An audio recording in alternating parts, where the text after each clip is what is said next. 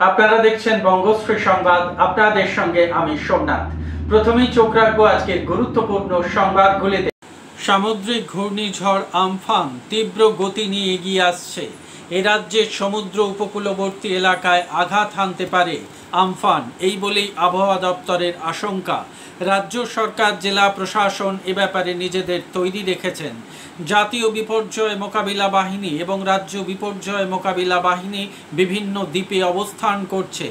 NDRF থেকে এসেছে সাতটি বাহিনী। তারা আরও দশটি দলকে প্রস্তুত রেখেছে।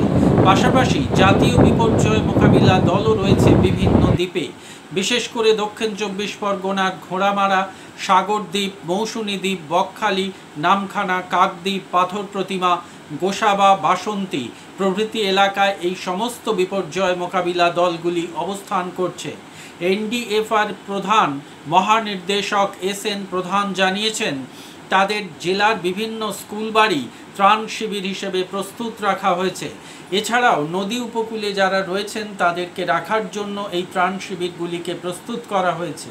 মাইকিং করা হচ্ছে ইতিমধ্যেই বিভিন্ন জায়গায়।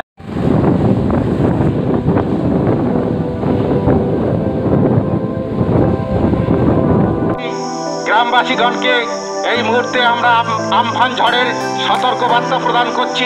আপনারা নিরাপদ আশ্রয়ে থাকার চেষ্টা করুন।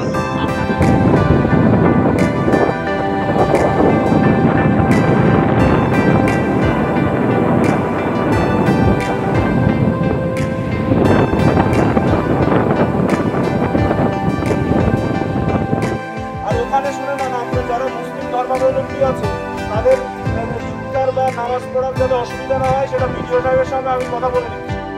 ঠিক আছে? চিন্তা করতে হবে না, এসব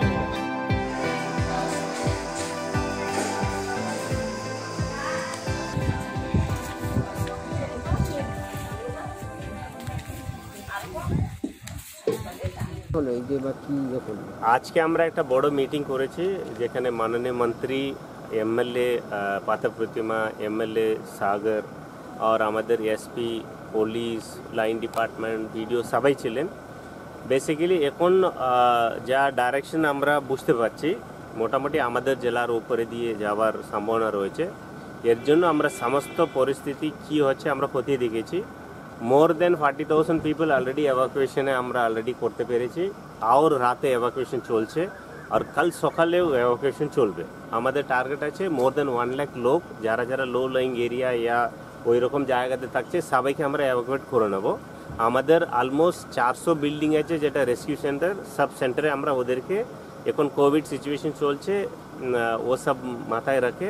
সোশ্যাল ডিস্টেন্সিং ওদের sanitation hand washing then mask এসব আমরা দিয়ে ওদেরকে ঠিকঠাক রাখব আর অলরেডি আমরা বি- বিভিন্ন জায়গাতে পুলিশ সিভিল জয়েন্ট ভিজিট করে দেখে নিয়েছে ফিশারম্যানকে ওয়ার্নিং লাগাতার করা হচ্ছে প্রত্যেকটা গ্রাম পঞ্চায়েতে দুটো করে গাড়ি আমরা দিয়ে মাইকিং করাচ্ছি আর ফিশারম্যানকে ওয়ার্নিং অলরেডি দিয়ে দেওয়া হয়েছে কোনো বোট না সিতে যায় না সুন্দরবন এলাকাতে থাকে এর জন্য ফরেস্ট ডিপার্টমেন্ট আমাদের পুলিশ কোস্টগার্ড সবাই মিলিয়ে কোথাও এরিয়াল সার্ভে হচ্ছে কোথাও পেট্রোলিং হচ্ছে, এরকম কাজগুলো অলরেডি আমরা করছি। ইন অ্যাডিশন আমরা এইবার মানে বুলবুলে যা আমরা এক্সপিরিয়েন্স পেয়েছি, ওটা খুব কাজে লাগাচ্ছি। অলরেডি আমাদের ডিসাস্টার রিলিফ মেটেরিয়াল সব জায়গাতে পৌঁছে দিয়েছে। Sufficient tarpaulin sufficient GRI sufficient যা যা মেটেরিয়াল লেগে আমাদের কাছে রয়েছে। আর আমাদের প্রত্যেকটা ব্লকে, প্রত্যেকটা ইউনো স্ট্র্যাটেজিক লোকেশনে জেসিপি ট্রি কাটিং মেশিন এসবটাই আমরা রেখে নিয়েছি। এনডিআরএফ টিম অলরেডি প্রত্যেকটা ব্লক সাব ডিভিশনে ডিপ্লয় হয়ে গেছে।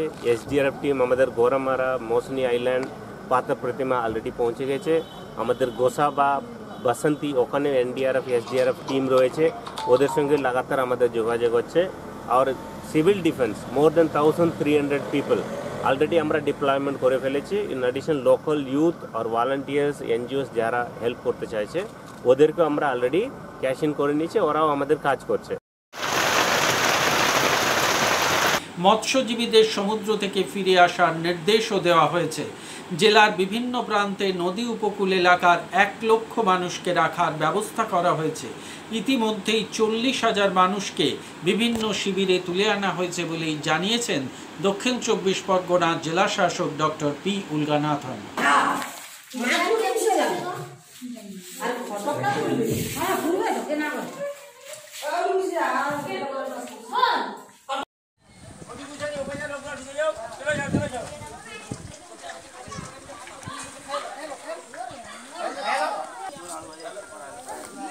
ফান্ড এই মুহূর্তে ইন্টেন্সিটি হচ্ছে সুপার সাইক্লোনিক স্টর্ম অবস্থান দীঘা থেকে দক্ষিণ দক্ষিণ, পশ্চিম দিকে ছশো তিরিশ কিলোমিটার দূরে অবস্থান করছে। মানে আমাদের কোস্ট ওয়েস্ট বেঙ্গল থেকে যদি ধরেন দীঘা, সেখান থেকে ছশো তিরিশ কিলোমিটার দক্ষিণ দক্ষিণ, পশ্চিমে। এটা north north east word move করবে।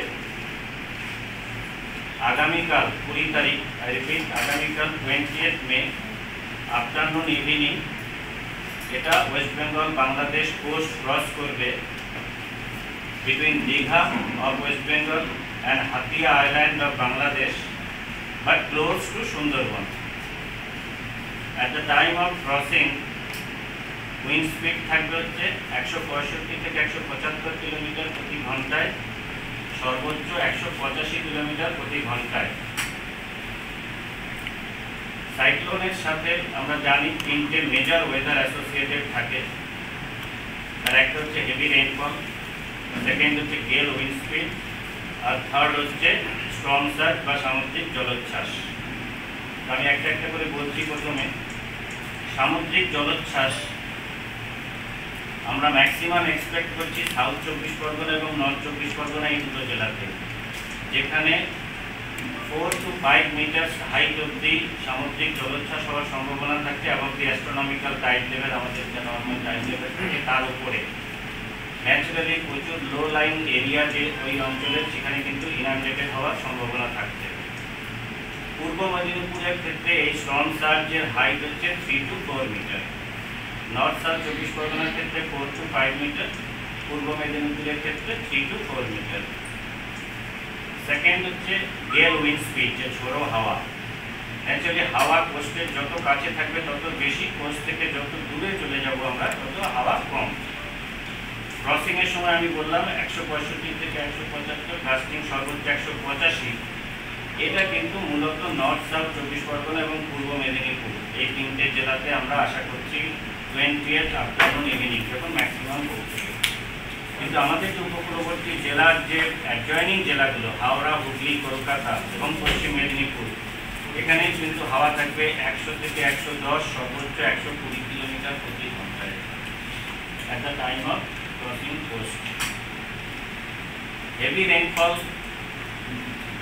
কালকে মেইনলি কুড়ি তারিখ ম্যাক্সিমাম বৃষ্টি হওয়ার সম্ভাবনা। দক্ষিণবঙ্গের প্রায় সমস্ত জেলাতেই হালকা থেকে মাঝারি বৃষ্টি। উপকূলবর্তী জেলা mainly north south Chabbish Pargana east west Medinipur Howrah Hooghly এবং কলকাতা কলকাতা। এই জায়গাগুলোতে বেশ কিছু জায়গায় ভারী থেকে অতি ভারী বৃষ্টি এবং দু এক জায়গায় এক্সট্রিমলি হেভি রেনফল হওয়ার সম্ভাবনা থাকছে তারিখ এবার যেহেতু এই অতি তীব্র সাইক্লোনিক স্টর্ম এটা, তাহলে আমরা কিন্তু প্রচুর ড্যামেজ এক্সপেক্ট করছি এই তিনটে জেলায় মেইনলি বিশেষ করে নর্থ সাউথ চব্বিশ পরগনা এবং পূর্ব মেদিনীপুর তারপরের যে ম্যাক্সিমাম ড্যামেজটা হবে সেটা কিন্তু কলকাতা, হাওড়া হুগলি এবং পশ্চিম মেদিনীপুরে। ড্যামেজ মূলত যেটা হবে হাই উইন্ড স্পিড থেকে যেগুলো হবে আর কি। প্রচুর গাছ পড়বে লাইট পোস্ট ভেঙে যাওয়ার সম্ভাবনা থাকবে কমিউনিকেশন পোলের বেড়ে যাওয়ার সম্ভাবনা থাকবে যেখানে নদীতে কোনো শিপ বা নৌকো নোঙর করা আছে, সেখান থেকে খুলে চলে যেতে পারে। ফ্লাইং অবজেক্ট যে টিনের চাল টাল সেখান থেকে উড়ে গিয়ে ড্যামেজ হতে পারে। সেকেন্ড যেটা হচ্ছে হেভি রেইনফল থেকে যে ড্যামেজ হয়। একটা লো লাইন এরিয়াতে একে তো বৃষ্টি হবে, তারপর স্টর্ম সার্জের জল। ফলে ইনান্ডেশন হবে কিন্তু লো লাইন এরিয়াতে এবং তার সাথে কি হবে? জল জমে গেলে ওসব জায়গাতে তার মধ্যে বৃষ্টি হবে। ফলে এক্সপেক্টেড যে কাঁচা বাড়ি কিন্তু ব্যাপক ক্ষতি হওয়ার সম্ভাবনা উপকূলবর্তী জেলায় এবং পুরলি বিল্ড পাকা বাড়ি, পুরনো বাড়ি, সেগুলোরও কিন্তু সম্ভাবনা থাকছে। কলকাতার ক্ষেত্রে যেহেতু বৃষ্টি হবে, বহু পুরনো বাড়ি আছে যেগুলোতে কিন্তু বিপদ হওয়ার সম্ভাবনা থাকছে আমাদের এই হেভি রেনফল থেকে। কলকাতার জন্য আমরা একটা স্পেশালি আলাদা করে দিয়েছি অনলি ফর ক্যালকাটা যেহেতু সিস্টেম আমাদের ওয়েস্ট বেঙ্গল কোস্টেই মোটামুটি আসছে। তো কলকাতার ক্ষেত্রে আমরা হালকা থেকে ভারী বৃষ্টি আমাদের চলবেই। Squally wind seventy five to eighty five kilometre per hour lasting ninety five এটা হচ্ছে কুড়ি তারিখ মর্নিং আগামীকাল সকালবেলায় আমরা এক্সপেক্ট করছি কত? পঁচাত্তর থেকে পঁচাশি, সর্বোচ্চ পঁচানব্বই। যত বেলা গড়াবে কালকে তত উইন্ড স্পিড বাড়তে থাকবে। এবং যখন ল্যান্ডফল হবে, তখন কলকাতায় কিন্তু আমরা আশা করছি একশো দশ থেকে একশো কুড়ি, সর্বোচ্চ একশো তিরিশ কিলোমিটার প্রতি ঘন্টায় ঝোড়ো হাওয়া বয়ে যাওয়ার সম্ভাবনা থাকবে। ফলে কলকাতার ক্ষেত্রে আমরা একটা অ্যাডভাইসারি সিম্পলি অ্যান অ্যাডভাইসারি আমরা একটা দিয়েছি। সেটা হচ্ছে যত এস্টাবলিশমেন্ট মার্কেট শপ যা কিছু আছে যদি বন্ধ রাখা যায় এবং টোটাল পাবলিকের মুভমেন্ট যদি রেস্ট্রিক্ট করা যায়, আগামীকাল সকালের পর সমগ্র দেশের পাশাপাশি রাজ্য জুড়ে লকডাউন চলায়, ক্ষুদ্র ও মাঝারি শিল্পের শ্রমিকরা আজ দিশেহারা। বিশেষ করে জিন্স শিল্পের পীঠস্থান, মহস্তলা, চট্টা অঞ্চলে দীর্ঘদিন কাজ বন্ধ থাকায় ওস্তাগারদের ঘরে লক্ষ লক্ষ টাকার রেডিমেড পোশাক মজুত হয়ে পড়ে রয়েছে। এর ফলে কাজ হারিয়েছেন দর্জি শিল্পের শ্রমিকরা। সামনেই খুশির ঈদ উৎসব। তাই দর্জি শিল্পীরা সরকারের কাছে ব্যবস্থা নেবার কাতর আর্জি জানাচ্ছেন।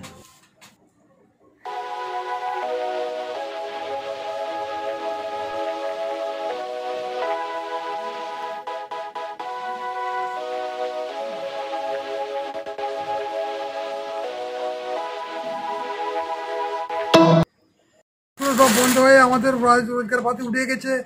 আমাদের সংসারে কষ্ট বৃষ্টি হচ্ছে, ছেলে নাতিপুতি নিয়ে নিয়ে খেতে পারেনি আল্লাহ। আর আমাদের, আমরা, আমি অসুস্থ মানুষ প্যালেস রুগী মানুষ, আর চলাহাটা করতে পারেননি। আমার ছেলেরা টুকিটাকি দর্জি শিল্প কাজ করায়, সেই নিয়ে আমার চলে। তা আমাদের অবস্থা কতদিন এরকম থাকবে? কী হবে আমাদের? সেইটা আপনারা বিচার করে বলবেন। আমরা পাঁচটা দর্জি, দর্জিকে নিয়ে কাজ করি। গরিব লোক আমরা। এইভাবে লকডাউন যাচ্ছে। কি করে খাব আমরা? রোজা রোজা করছি। ঈদটা কীভাবে যাবে? আল্লাহই জানে। হ্যাঁ কষ্ট করে যাচ্ছে দর্জিদের নিয়ে। আমাদের সংসার আছে বাচ্চা কাচ্চা আছে আমরা কি করে খাব? কন্ট্রোলে মাল দিচ্ছে রেশনে। ওই নিয়ে আসতে আসছে হচ্ছে কী করে চলবে? এটা দিন চলবে না তো পেট চলবে না। কি করা যাবে? আমাদের দর্জির ওপরে নির্ভর। শিল্প দর্জি শিল্প। আমাদের এই চালা করা হয়? আমাদের pant jeans pant. Jeans pant হয় তৈরি করা হয়। এই জিন্সের প্যান্ট কোথায় যায় এখান থেকে? জিন্সের প্যান্ট হাওড়া হাটে যায় মেটাপুরি যায় শ্যামবাজারে যায়। ওখান থেকে কোথায় যায়? ওখান থেকে নেবে দিল্লিতে যায়। দিল্লি বোম্বে সমস্ত রাজ্যে সব যায়। এসব এই নিয়ে আমাদের চলে। এখন আপনাদের পুরোপুরি বন্ধ কাজ এখন কাজ টোটাল বন্ধ। সবাইয়ের বন্ধ আছে এখন কি করা যাবে? কি আপনারা নিজেরাই কাজ করতেন না আরও লোক থাকতো? আমরা নিজেরাই কাজ করি বাইরের দর্জিদের নিয়ে কাজ করি। এইসব নিয়ে আমাদের চলে। আপনার বাইরের দর্জিগুলো এখন কোথায়? আমাদের বাইরে যে আন কাজকাম নেই তারা চলে গিয়েছে। কি করাবে? দুটো একটা আছে এখানে। আপনার নাম? আমার নাম নুরাল মন্ডল মণ্ডল।